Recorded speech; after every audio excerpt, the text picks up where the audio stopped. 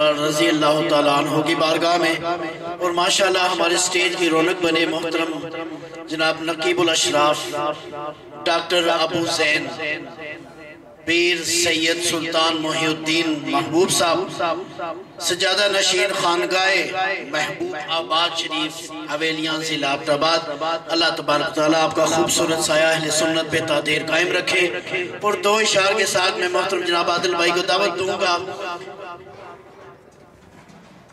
کہ صاحب فکر نظر حق کا ولی کہتے ہیں۔ باواز بلند کہ یہ سبحان اللہ۔ صاحب فکر و نظر حق کا ولی کہتے ہیں۔ کاشف کنز حبیب ازلی کہتے ہیں۔ اور جس کو ڈوبا ہوا سورج بھی پلٹ کر دیکھے، ہم اسے اپنے عقیدے میں علی کہتے ہیں۔ جس کو ڈوبا ہوا سورج بھی پلٹ کر دیکھے، ہم اسے اپنے عقیدے میں علی کہتے ہیں اور کپڑے وہی، چادر وہی، دستار وہی ہے۔ ہجرت کا موقع ہے، کپڑے وہی، چادر وہی، دستار وہی ہے۔ چلتا ہے تو لگتا ہے کہ اللہ کا ولی ہے۔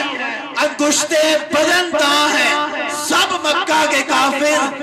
ارے سوئے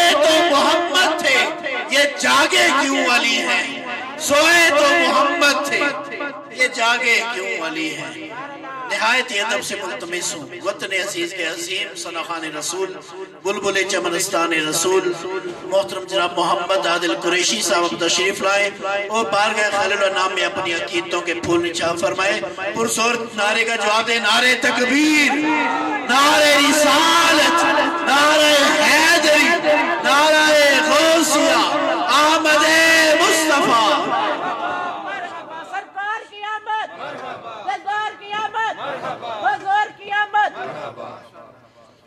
بسم اللہ الرحمن الرحیم۔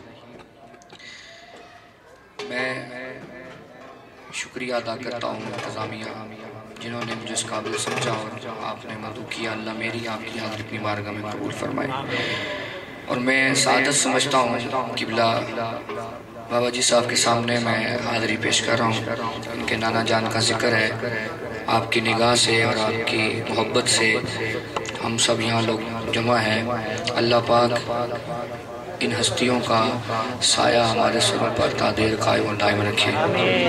اور محبت کے ساتھ اللہ کا ولی بیٹھا ہو، بار بار سبحان اللہ کہہ دو۔ یہ ولی ہیں آپ ان کی زیارت کریں، ویسے سبحان اللہ نکل جاتی ہے ہاں جی اونی نظر چاہیے، ہیں، بڑی محبت کے ساتھ۔ میں اجازت سے آپ کی میں نعت شروع کرتا ہوں۔ محبت کے ساتھ سارے شرمانہ نہیں ہے حضور کی محفل ہے۔ تو محبت کے ساتھ درود پاک پڑھیں گے، کوئی زبان خاموش نہ رہے۔